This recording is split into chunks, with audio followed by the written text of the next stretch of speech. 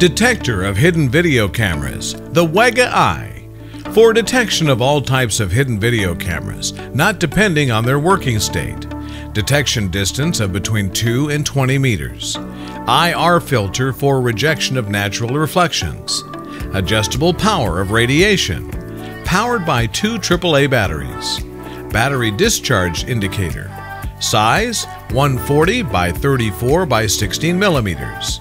Controls and indicators of the WEGA-i. Brightness. Use these buttons to decrease or increase the brightness of radiation. By doing this, you will adjust the unit for better detection at different distances. Decrease the brightness when inspecting close surfaces at a distance of 1 to 3 meters. Increase it when investigating at further ranges.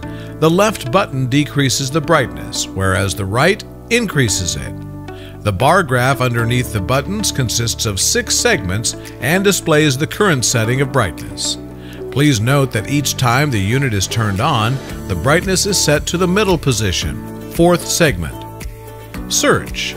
Keep this button pressed while performing a search. The LEDs of the unit will radiate until the button is released. Power. Use this button to turn the unit on and off. Low bat. This indicator shows that the battery is low and should be replaced. Usage of the WEGA-i. A camera can only be detected from within the zone of which it's surveying. Enter the target zone, i.e., the area which may be under surveillance. Usually, the target zone is the desktop and surrounding area in an office, the bed in a bedroom, etc. Turn on the WEGA-i by pressing the power button. Enter the operation mode by pressing and holding the search button. Scan all probable places where a hidden video camera could be installed.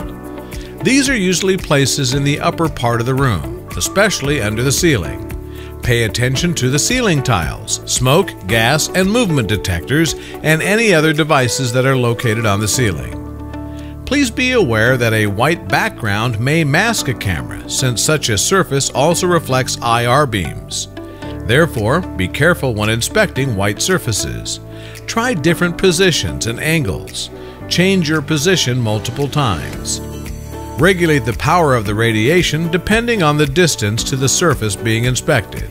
A shining dot is a sign of a hidden video camera. If you see a suspicious point, change your position slightly to check that it is not a false response from a metallic object or bright surface.